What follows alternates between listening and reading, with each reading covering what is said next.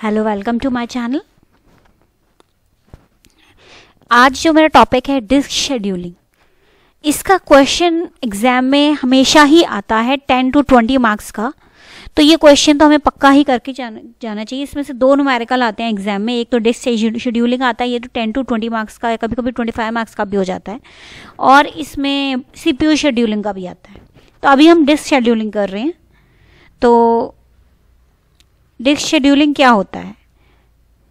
Disc अगर आप देखें तो स्टोरेज डिवाइस है हमारा। तो disk is the source which has to be shared जिसको हम शेयर कर सकते हैं। तो सेकेंडरी स्टोरेज डिवाइस है media structure is one of the vital part of the file system file system का सबसे वाइटल पार्ट है ये। As compare to magnetic tapes disk have very fast access time and disk bandwidth.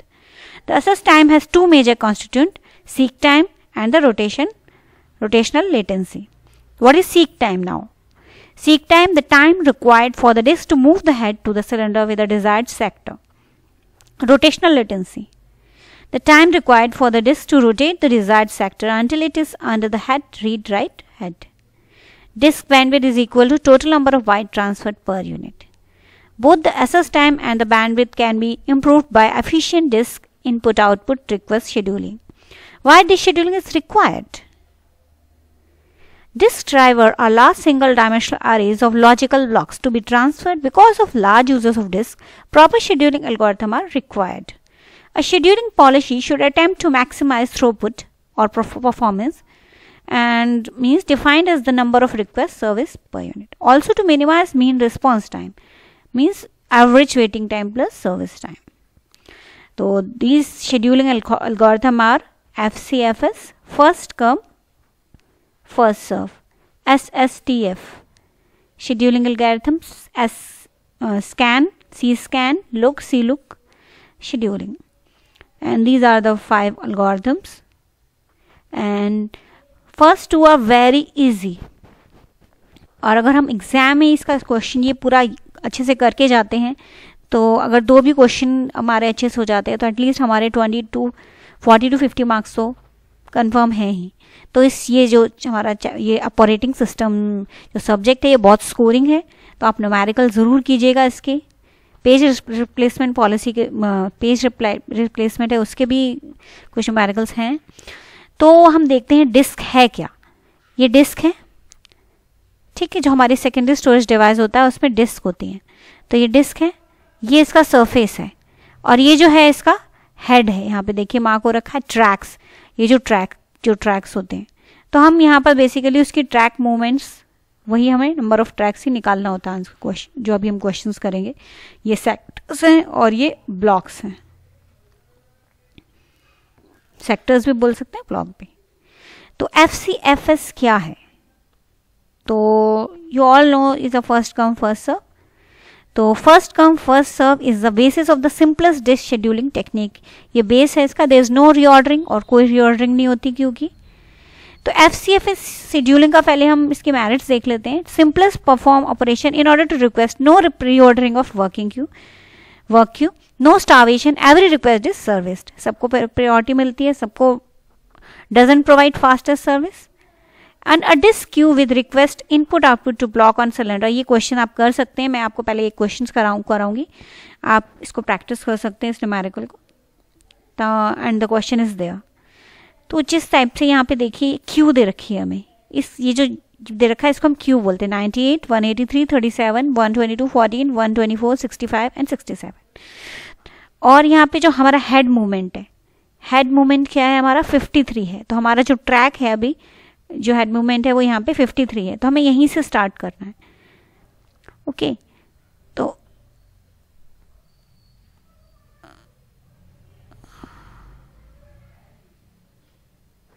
यहाँ पे देखिए, ये जो ट्रैक्स हैं, ये जो है यहाँ पे ज़ीरो है। ज़ीरो से स्टार्ट होके 199 तक जाता है। अगर हम 200 ट्रैक्स हैं, अगर हमारे क्वेश्चन में दिया होता है कि कितने ट्रैक्स हैं। तो यहाँ पे हमारा 53 है। ये ज़ीरो है और ये वन नाइन है। नहीं आपको दिख रहा होगा? तो हमने फिफ्टी थ्री से स्टार्ट किया। अब हमारा फिफ्टी थ्री अगर ट्रैक है तो हमारा फ़र्स्ट इस क्यू में पहला क्या है? Ninety eight. है तो हम नाइन्टी एट पे जाएँगे यहाँ से। ये नाइन्टी एट पे आए हम।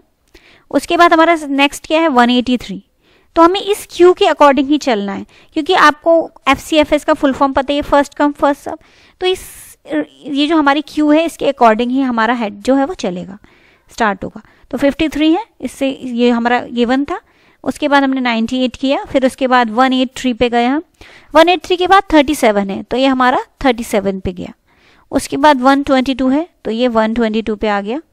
देन 14 तो ये 14 पे आया। 14 के बाद 124 एंड 124 के बाद 65 एंड 67 ठीक है?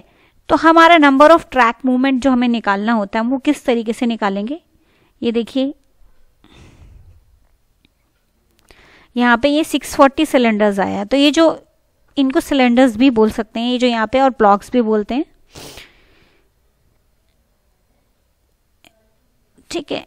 तो यहाँ पे हम इसका मूवमेंट्स निकालते हैं। तो मूवमेंट्स हम इस तरीके से भी निकाल सकते हैं, जैसे 98 एट माइनस फिफ्टी प्लस यहाँ पे जो बड़ा होगा, उसको इन दोनों का जो बीच का, वो लेंगे। तो यहाँ पे 183 बड़ा है। तो 183 eighty three minus ninety eight plus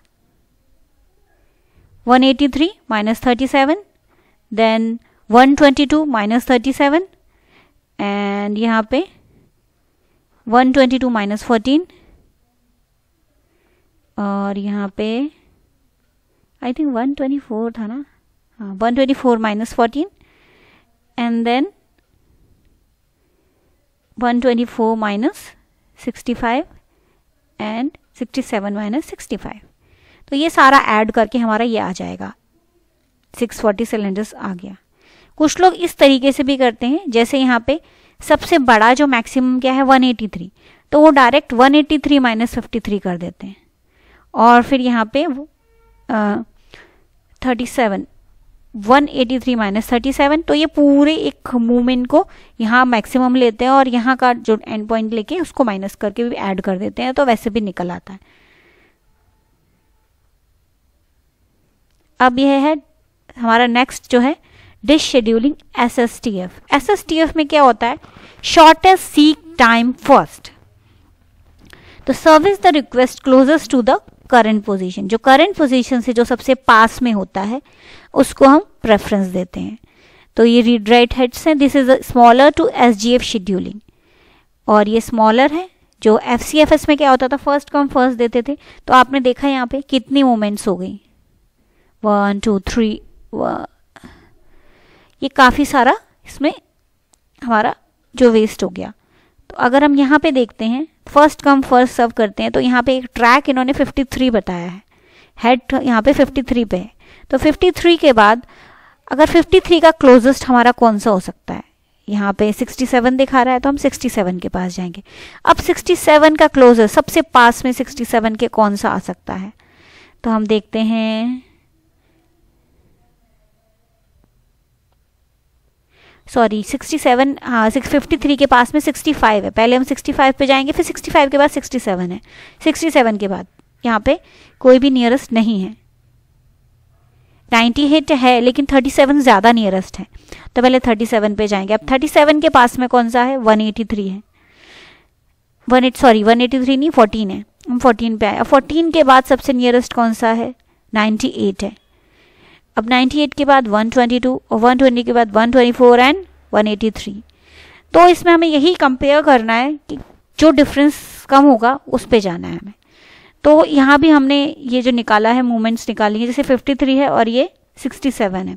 तो 67 माइनस फिफ्टी और यहाँ पे भी 67 बड़ा है तो 67 माइनस फोर्टीन फिर यहाँ पे 98 minus fourteen and here is 122 minus, नहीं, ये तो यहीं से हो जाएगा। अगर आप चाहें तो ऐसे भी कर सकते हैं, ठीक है? और ये पूरा, या आप एक एक करके भी निकाल सकते हैं कि जैसे 65 फाइव माइनस फिफ्टी थ्री भी निकाल सकते हैं। तो ये 236 सिलेंडर्स के टोटल हेड मूवमेंट निकल रहा है। तो ये भी, अब हम आते हैं स्कैन पे। इसको एलिवेटर शेड्यूलिंग भी बोलते हैं। Elevator means lift. तो लिफ्ट में क्या होता है, आप लिफ्ट में बैठ के जाते हैं अगर आपका, आप सेवन तक ही जा रहे हैं, लेकिन लिफ्ट पूरा ऊपर तक जाती है। क्यों? हो सकता है कि वहाँ से कोई कॉल आ जाए, कोई कस्ट किसी को उसमें बैठ के आना। हो तो उसी टाइप से यहाँ पे क्या होता है कि ये, अगर ये यहाँ से स्टार्ट हो रहा है, इसमें बता, लिखा होता है, इसमें आता है क्वेश्चन में गिवन होता है कि टुवार्ड्स लार्जर और टुवार्ड्स स्मॉलर ठीक है? तो हमने यहाँ पे देखा है 53 है। 53 के बाद 98 आ रहा है। तो यहाँ पे इन्होंने टुवार्ड्स स्मॉलर किया है। तो 53 के बाद ये 37 पे आए हैं 37 के बाद 14 पे आए हैं 14 के बाद ये ज़ीरो पे गए हैं। ओके तो ये जहाँ से अगर ये यहाँ पे स्मॉलर में जा रहे हैं तो ये ज़ीरो तक जाएँगे। अगर ये लार्जर में होता है तो ये 199 तक जाते। लेकिन हमने यहाँ पे स्मॉलर स्टार्ट किया है तो हम ये लास्ट 199 तक नहीं जाएँगे, खाली 183 तक ही जाएँगे। तो हमने पहले 53 किया 37 14 0 ज़ीरो ज़ीरो पे गए हम क्योंकि ज़ीरो नहीं था लेकिन हम ज़ीरो पे गए हैं क्योंकि हमने टुवार्ड स्मॉलर था तो हम ज़ीरो तक गए. ये थोड़ा कंफ्यूजिंग भी है तो आपको अच्छे से याद देख लीजिएगा कि अगर टुवार्ड्स लार्जर है तो आपको इस आ, आपको 53 से 199 तक आना है. लास्ट जो भी आपकी मूवमेंट होगी उसके बाद जो भी सिलेंडर होगा.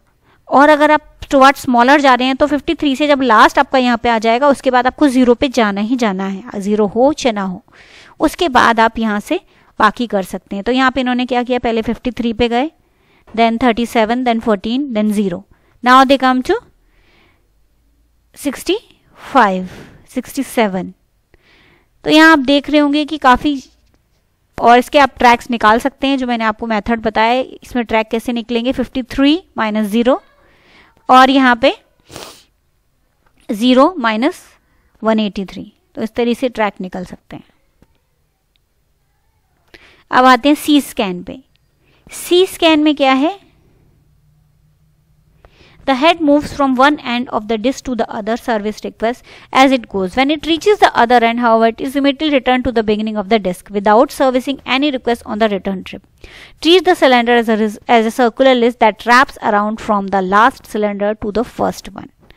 इसमें ऐसा है कि आप जब यहाँ पे 199 तक गए हैं उसके बाद आप वापस जब आ रहे हैं तो आप कोई भी रिक्वेस्ट नहीं ले रहे हैं यही इसका मेन पॉइंट है कि आप रिक्वेस्ट नहीं लेंगे। जैसे यहाँ ने 53 लिया इन्होंने 53 के बाद इनका 65, 67 यहाँ पे टुवार्ड्स लार्जर हो गया होगा क्वेश्चन में। तो उसके बाद 67, 98, 122, 124, 183 एंड 199 देन दे ये वापस आए हैं। ठीक है तो इसकी मूवमेंट्स ऐसे ही निकलेंगे 53 three minus one nine and one nine nine minus zero and then ये भी सी स्कैन है तो आप देख सकते हैं इसको। Now we come to look scheduling look scheduling में देखिए 53, 65, 67,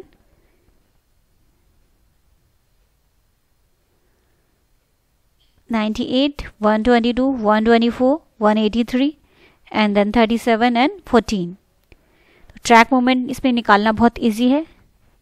एस एस टी एफ़ और एफ़ सी एस में थोड़ा सा इससे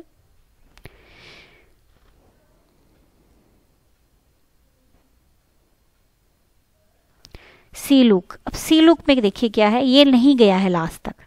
ये 183 के बाद ही वापस आ गया है 14 पे। तो ये सबसे अच्छा है। तो ट्रैक मूवमेंट्स आप निकाल सकते हैं, जिस तरह मैंने आपको बताया है। तो ये बहुत इंपॉर्टेंट है, आप इसको करके जाइएगा और एग्ज़ाम में जो हमारा टेन ईयर के जो पेपर्स हैं, उसमें चेक कीजिए जितने भी क्वेश्चन है, सारे प्रैक्टिस करके जाइए। कभी कभी क्या होता है, उन्हीं क्वेश्चन में से भी दे देते हैं। वो तो ये है कि अगर आपको एक बार मैथड समझ में आ गया तो आप खुद ही कर सकते हैं। तो अभी मैं नेक्स्ट वीडियोस में मैं, जो अब दूसरा न्यूमेरिकल है, उसके बारे में बताऊँगी। अगर इससे रिलेटेड आपके पास कोई क्वेश्चन हो जिस आप नहीं कर पा रहे हैं तो आप मुझे कमेंट बॉक्स में भेज सकते हैं, मुझे मेल कर सकते हैं। तो वीडियो अच्छा लगा हो तो लाइक कीजिए शेयर कीजिए ज़्यादा ज़्यादा करके जैसे कि सब लोग प्रैक्टिस कर सकें इसकी। और कमेंट कीजिए। और मेरे चैनल को अगर अभी तक सब्सक्राइब नहीं किया तो सब्सक्राइब कीजिए, जिससे कि मेरे आने वाले जिससे कि आप मेरे जो पुराने वीडियोज़ है, पूरी लिस्ट में देख पाएँ। और आने वाले वीडियोज़ के, अगर आप पहले देखना चाहते हैं तो आप बेल आइकन को प्रेस कर सकते हैं, जिससे कि नोटिफिकेशन आपके पास आए। थैंक यू धन्यवाद।